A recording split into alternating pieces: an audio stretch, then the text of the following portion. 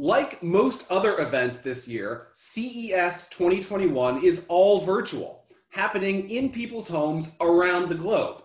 But that doesn't mean that there isn't a ton of cool new tech to check out, including a Asus TUF gaming laptop that's extremely thin, extremely light, and comes with, for the first time, charging via USB-C.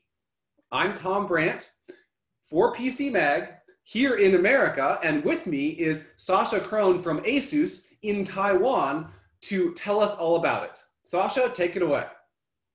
All right, so our TUF gaming series has been extremely popular over the years. Great price performance, the best bang for the buck. And uh, we're now expanding and adding a new model to our TUF family, and that's a slimmer, lighter, more premium TUF Dash. So it's only two kilos, only 20 millimeters, and uh, has a very nice, sleek design. And there's a white version, which uh, all of us here in HQ are big fans of.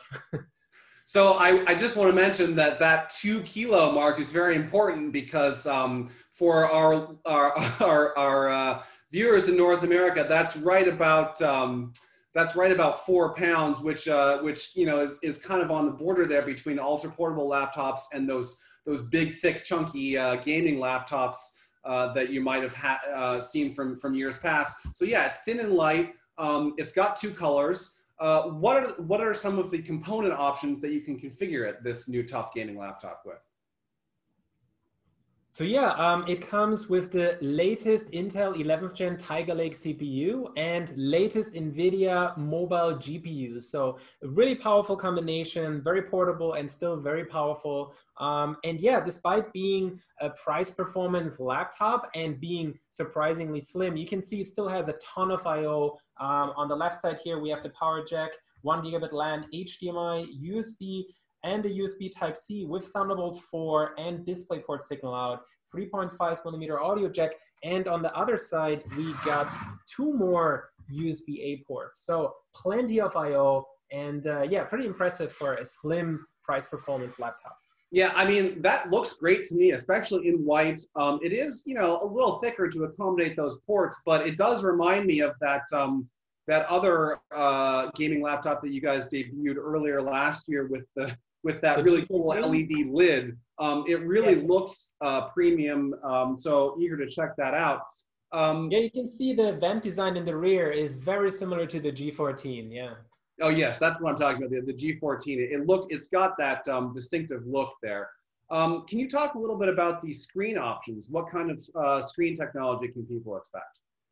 So it comes either with a 144 hertz panel or up to a 240 hertz, three millisecond panel with 100% sRGB. So panel wise, you can get a really top notch uh, gaming display in there as well. And the keyboard is 1.7 millimeter key travel with our nice hotkeys as well, you know, volume up, down, microphone mute, very useful these days and our Armoury Crate launch button to configure the system. And it comes with an SSO finger, fingerprint uh, button as well. So SSO means single sign-on. So you press this button once, it captures your fingerprint and turns on the system. As soon as Windows loaded, it then sends the fingerprint to the operating system to log you in. So you only have to press it once and it locks you right into Windows. Now, obviously, this has got the latest, um, as you mentioned, the latest NVIDIA uh, GPUs, but it also has that 11th gen um, uh, Intel CPUs that are mostly found in those thin and light ultra portable laptops.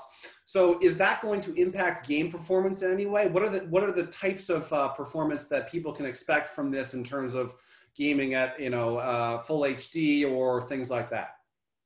That's a very good question. So yeah, um, we think that some people will definitely have concerns about this, but uh, you'll be surprised. I mean, once you guys get your hands on, you can test it. You'll see for yourselves as well. Um, everybody knows already that you know you don't really need eight cores uh, for games and even though there are games that make use of eight cores it doesn't mean you get really extra performance with eight CPU cores.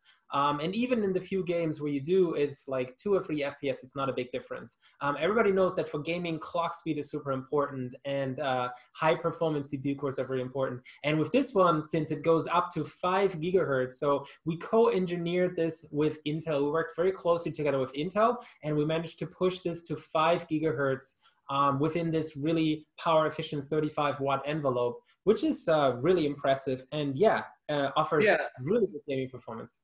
That is one of the things that uh, strikes me about the 11th generation CPUs. They do have those higher clock speeds, which which you know is kind of a departure from previous generations. So that uh, could help if your if your game uh, can take advantage of those. But in general, this is the the TUF Dash um, F15 is is kind of look like a sweet spot gaming laptop in terms of price and performance. It seems like, but kind of my favorite thing about it, just looking at it now, is that white color scheme. I really, really like it. I think that more gaming laptops should have the option to not look uh, black and aggressive.